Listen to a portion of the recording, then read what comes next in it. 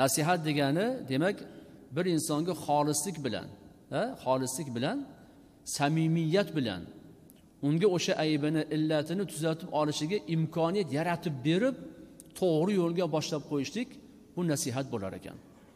Ommani ichida uni aybini oshkora qilish emas internetga chiqib olib yoyish emas va hokazo va hokazo emas balki o'sha insonni shaxsini o'ziga hech kimga bildirmasdan samimiylik bilan unga yaxshilikni iroda qilgan holatda shu illatingizni tuzatib qo'ying.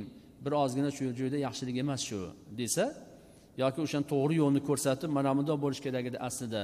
Lekin siz farondaqa deb qo'yibsiz yoki farondaqa ishni amalga oshirib qo'yibsiz shu xato ekan desa judayam yaxshi bo'ladi. Buni shar'iy istilohda nasihat deyiladi. Ikkinchisi jurjoniy aytadilarki nasihat yaxshiligi bor narsaga chaqirish va yomonligi bor narsadan qaytarishdan iboratdir deydilar. Demak bir so'z bilan aytganda amri ma'ruf nahi munkar bu nasihat.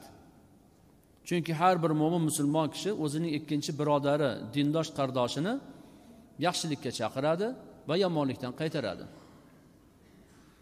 Yaxshilik bilan yomonlik o'zi qanday belgilanadi desa bu ham shar'iy mezonda belgilanadi. Insonlarning urf odatlari kelib chiqishlari ota bobolardan qolib ketgan narsalar yoki yangi paydo bo'layotgan ba'zi bir madaniyat qo'shtirnoq ichidagi madaniyat so'zi ostida paydo bo'layotgan ishlar va hokazolarni yaxshilik va yomonlik deb bo'lmaydi.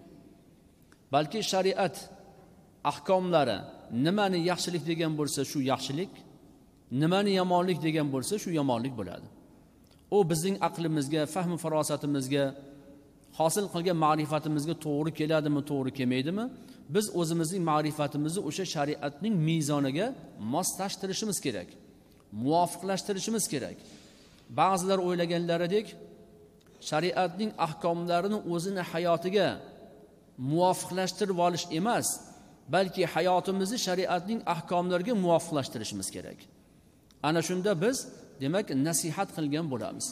Avvalo o'zimizga nasihat qilishimiz kerak ana undan keyin o'zgalarga yaxshilikni ravo ko'rish va yomonlikdan ularni qaytarish ma'nosida. Kafaviy aytadilar nasihat jamlovchi kalimadir. Ma'nosi nasihat qilinuvchiga yaxshi nasibani tilashdir. Nasihat qilinayotgan odamning dunyosi va oxirati uchun manfaatli bo'ladigan narsani tilash unga o'rgatish adashib qolgan bo'lsa yo'lni ko'rsatib qo'yish biror bir savol so'rasa to'g'ri javob berish.